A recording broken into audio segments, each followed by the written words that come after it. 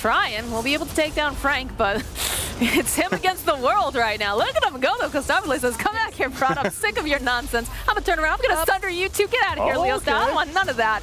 But uh, I don't know. Uh, this is don't looking like it's going to be curtains. Very, very He's making space. No way! Back around. Costabile is going to take it.